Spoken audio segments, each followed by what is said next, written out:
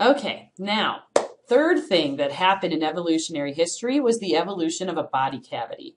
So organisms all of a sudden are going to have some sort of a cavity, and that's going to be advanced because that's going to allow them to store things.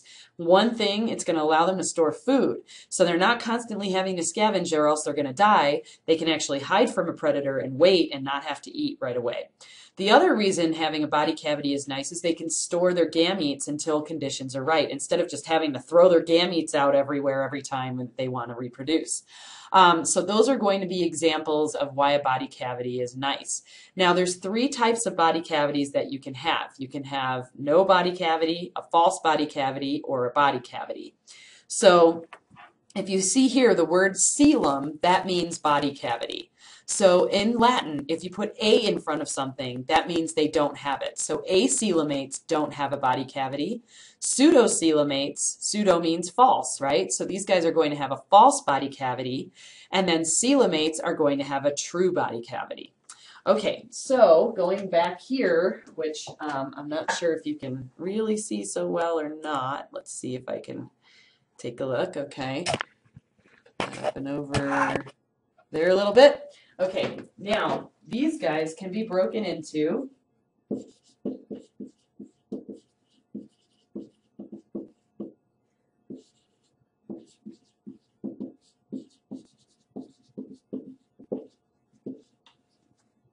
Oops, sorry, I screwed up.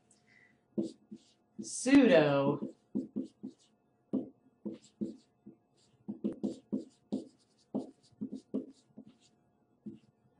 and coelomates. Okay, so we've got the bilaterally symmetrical organisms broken into acoelomates, pseudocoelomates, and coelomates. And like I said, I will zoom in on this at the end so you can actually take a good look at it. Okay, now the coelomates are going to be the ones that are the most advanced. That's why they're over to the right. And these guys can have either an open or a closed circulatory system.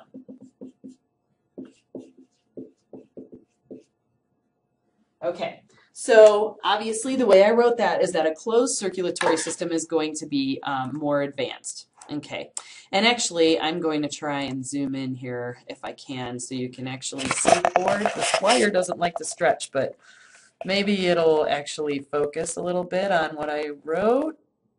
I'll let it sit there for a sec.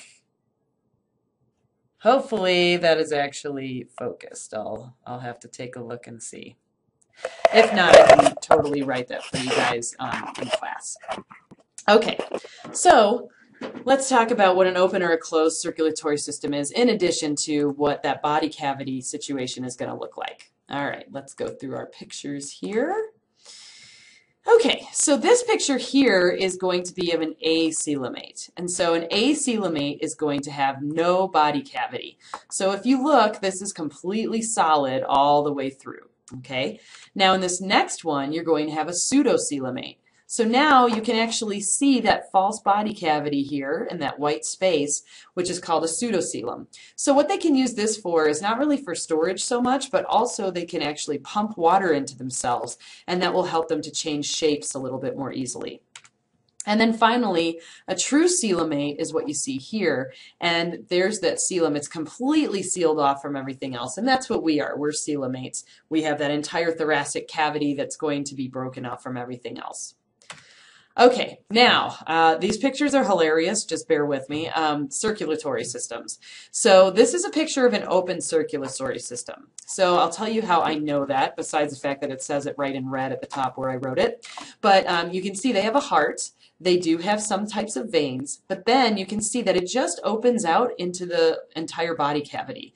And so that's called an open circulatory system where the blood is going to mix with the fluids that the body has. So there's no separation of blood from body fluids. Not very advanced because it's not very efficient. Um, it's hard to control. And if something comes in and just cracks off the tail of this guy, it's going to bleed out a lot more easily. Now here we have a closed circulatory system, and you can see he's very happy that he has one. And you can see you've got the heart and you've got the veins and vessels, but the blood is staying completely separate from the body um, fluids, and that's what makes it a closed system. So this is obviously what we have, and there's a lot of reasons why this is more advanced. First of all, it's much easier to control. Second of all, you don't have any sort of mixing, so you have more efficiency of oxygen-rich and oxygen-poor blood. And last, you're also going to be able to have a lot more control as far as constricting or dilating those blood vessels to change blood pressure, to change body temperatures, and that type of thing. Okay. Now, this last part here is going to be talking about the development um, of these organisms and how we can kind of put them into two categories based on that. So I'm going to scroll down here a little bit, and um, this is going to be that fourth milestone in, de, in the um, evolution of organisms. And so this is going to be what's called deuterostome development. Now before we go any further, I'm going to show you a picture to define these words, blastula, blastopore, and archenteron. So let's go here, and um, this is a great picture of a blastula. So what happens is once you have an embryo form, that embryo is going to start dividing and form a little ball of cells. That's what a blastula is, and that's what's in these pictures that you see here. In this next one, what's going to happen eventually is that blastula is going to fold in on itself like you see in this picture. And what's going to happen is there's going to be an out, um, I'm sorry, kind of a body cavity on the inside. And that's going to be called the archenteron. So you can see that in this picture right here, right? That's that inside cavity. It's obviously going to have an opening to the outside, and that's called the blastopore. So those are going to be three important terms when we start talking about differences between protostomes and deuterostomes in their development. And this is just a grouping we can put organisms into. Oops. Nope, that's what we want. Okay. So let's talk about the first difference. So we're going to just be basically putting animals into the categories of um, protostomes or deuterostomes. Proto is more um, primitive and deutero is more advanced. So the first difference between the two is in the cleavage of the cells while they're dividing. So if we go to this picture here, go back to this one, you can see that in protostomes here on the left, when they divide, it's going to be um, spiral cleavage, which is um, where it kind of almost looks like it's turning every time that they divide. And so it's at an oblique angle every time those cells divide. That's going to be different from if you look over here, radial cleavage. You can see that radial is talking about that every time it divides, it's on a right angle, right? And that's going to be deuterostomes, which is going to be us. That's how our um, embryos are going to divide when they become the blastula. Now, another difference that listed there is determinate versus indeterminate development. So determinate means the second that cell divides, it's told what type of cell it's going to be. So there's really no stem cells.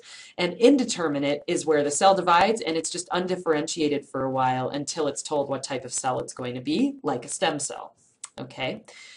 Now, moving on, another difference between the two is that in protostomes, the less advanced ones, the mouth is going to develop from that blastopore. So remember the blastopore was going to be once it folds in that opening.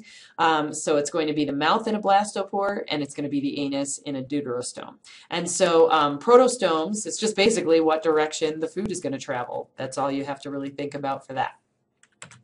The next difference is going to have to do with um, the development. And so really all you want to get from this is that in protostomes, it's pretty just basic where cells just starting moving back and forth and it's, it's a very simple project, ugh, process. And in deuterostomes, there's going to be all sorts of complex movements and then differentiation eventually happening. So it's a little bit more of a complex process as they start to develop. And that's it as far as that goes. So let me get back to your notes there's a little bit left, I believe.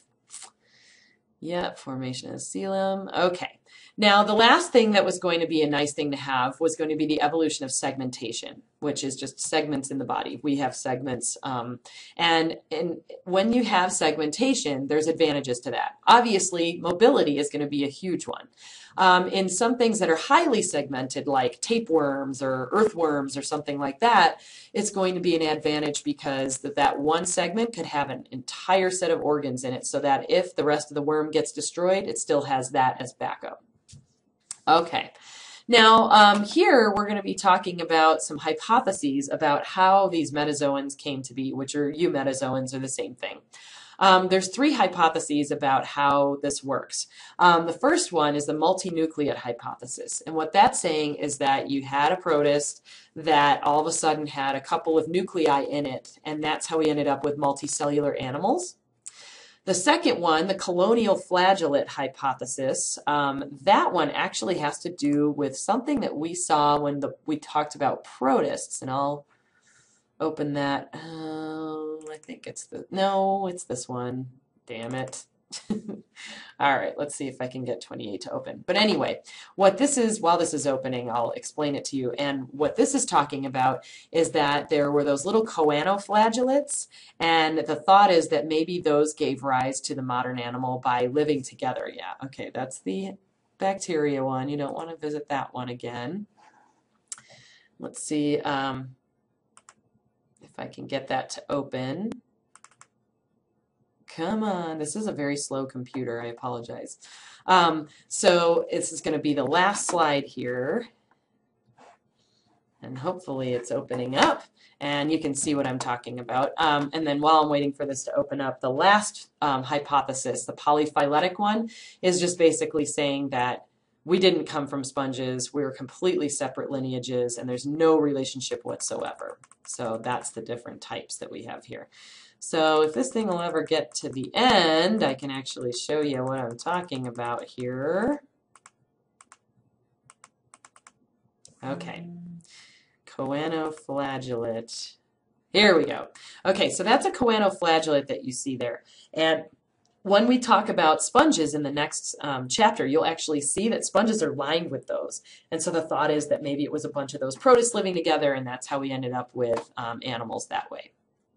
All right, so that's it for chapter 32. Now we're going to get into um, different types of phyla and classes, and it gets a little intense, but it's going to be super fun, and um, I absolutely love it.